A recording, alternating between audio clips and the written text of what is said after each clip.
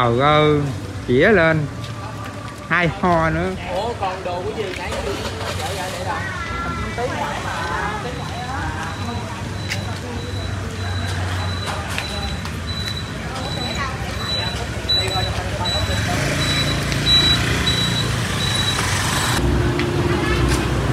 Sala xin gửi lời chào đến toàn thể quý khán giả của YouTube Sala TV, quý tăng ni Phật tử, những người mến mộ Phật Pháp cùng với bà con Việt Kiều ở khắp nơi trên toàn thế giới. Và hiện tại Sala đang đứng tại một con hẻm ở đường 51 của phường 14, à, quận Gò Vấp. Và trước mặt quý vị đang quan sát là một à, chiếc xe 29 chỗ với biển xe 51B 19674 sẽ đưa Sala TV cùng với à, đoàn hành hương của Sala đến với Châu Đốc Bạc Liêu. Ngay sau đây xin mời quý vị cùng đồng hành với Sala.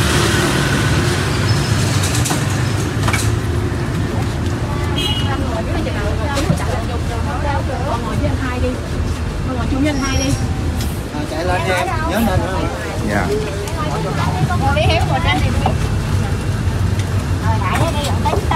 Ủa còn ghế này lo ngồi với lại Lấy cái ngồi với chị Ê ngồi đỡ đây đi lát lên sách Nhớ không? Lát lên sách Đó ngồi ơi Để dưới lượng xe nè Ờ còn hai cái chỗ kia đâu? Hai chỗ kia ngoài trước chút nữa. Sống phải sống kim rồi Bài đó bài gì đó Đây là một ờ, nhóm người ở ờ, phường 14 quận Gò Vấp. Ờ, sau khi uh, di chuyển uh, khỏi uh, quận Gò Vấp thì uh, đoàn hành hương của Sala tiếp tục đến với quận 6 và sẽ uh, rước thêm uh, một nhóm người hành hương nữa.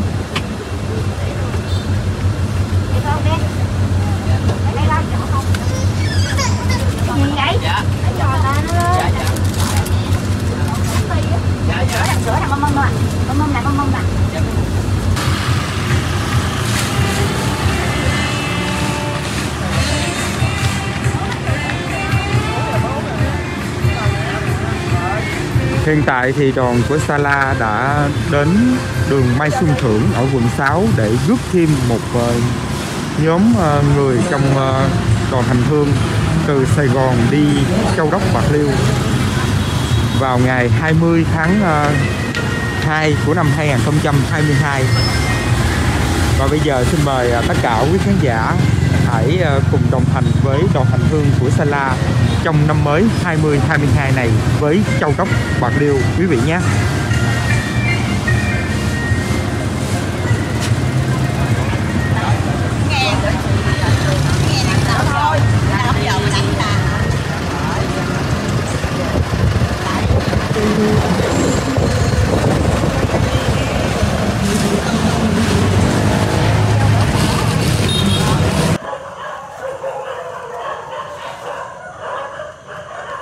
Đoàn của Sala khởi hành từ Sài Gòn là tầm khoảng 9 giờ rưỡi tối. Và hiện tại là khoảng 4 giờ rưỡi sáng thì ờ, đoàn đã tới được ờ, chùa Bà Hẹ ở tỉnh Biên An Giang. Và phía trước các bạn đang quan sát đó là đoàn xe của ờ, Sala đã tới được chùa Bà Nước Hẹ và đang chuẩn bị xuống xe. Nhưng mà trong cái khoảng thời gian này thì chùa Bà Nước Hẹ vẫn chưa có hoạt động cho nên là đoàn sẽ ngồi lại ở một quán bánh xèo tại đây để nghỉ ngơi. Khi nào mà uh, chùa Bà Hẹ mở cửa thì đoàn sẽ vào chùa để uh, cúng bái và tham quan chùa Bà Nước Hẹ.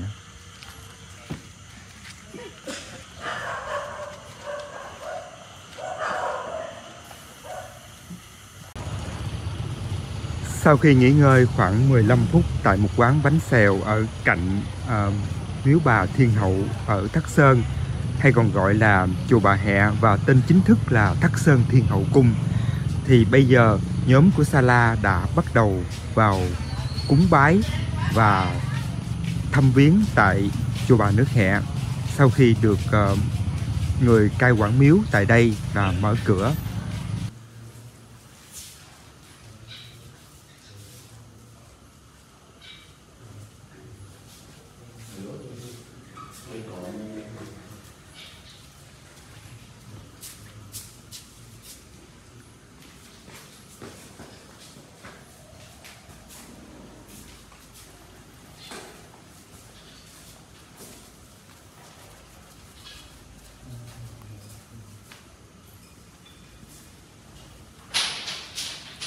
Hey!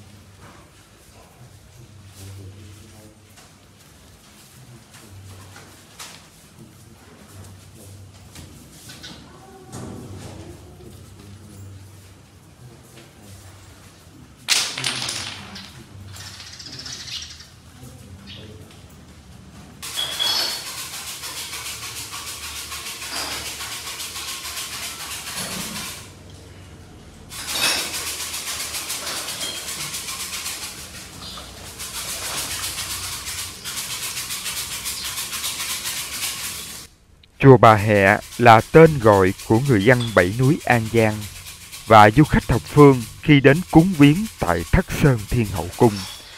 Đây là một ngôi miếu thờ Thiên Hậu Thánh Mẫu của một tộc người Trung Hoa, là người khách gia mà người ta còn gọi là người Hẹ.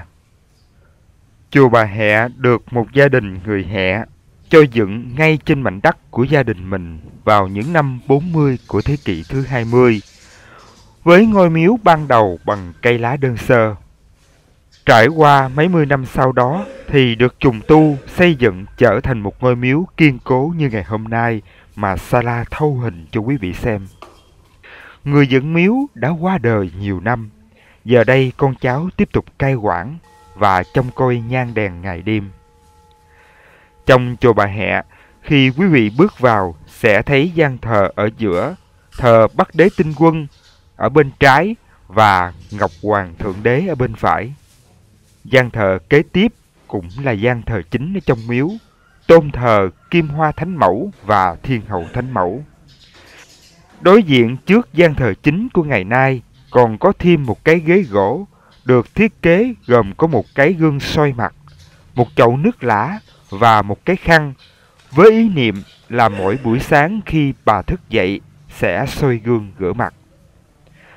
Ngoài ra, còn có gian thờ ở bên trái hướng từ cửa đi vào thờ thằng Tài Lão Lão, bên phải là gian thờ của quan Thánh Đế Quân. Du khách thập phương đến chùa Bà Hẹ thường cúng nhang đèn xong thì họ thực hiện xin xăm xin keo. Vì xăm trong miếu rất linh thiêng, thường báo trước cho người xin đặng quẻ xăm những điều mà họ gặp trong khoảng thời gian sắp tới về công việc, tiền tài tai họa hay cưới hỏi. Kể từ khi ngôi miếu được du khách ngày càng tìm đến cúng viếng đông hơn, thì bên ngoài, người dân dựng thêm các quán bán nước giải khát và bánh xèo, bánh khọt miền Tây ăn kèm với rau núi vùng Thác Sơn.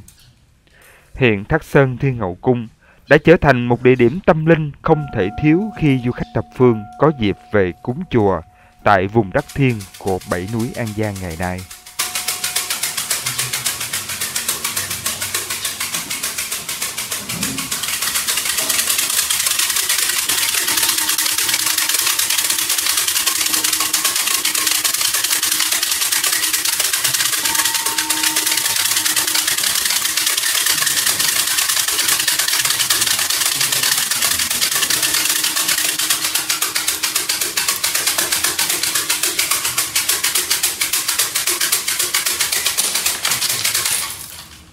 Cây bên trái ừ.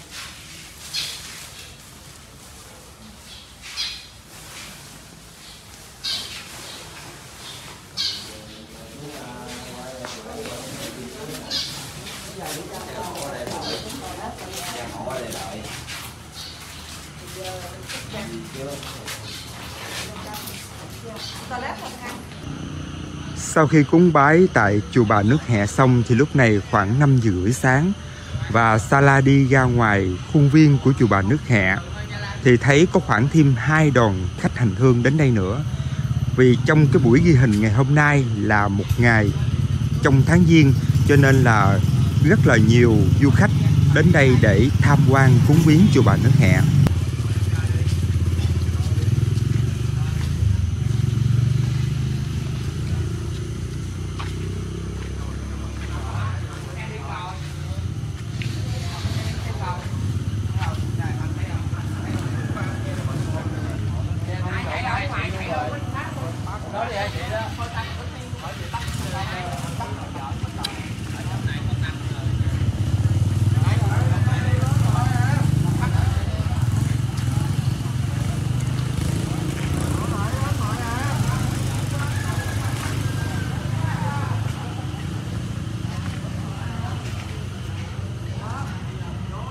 Rồi qua bà con nào đi đến đây có ai đi núi cúng không anh chị ơi?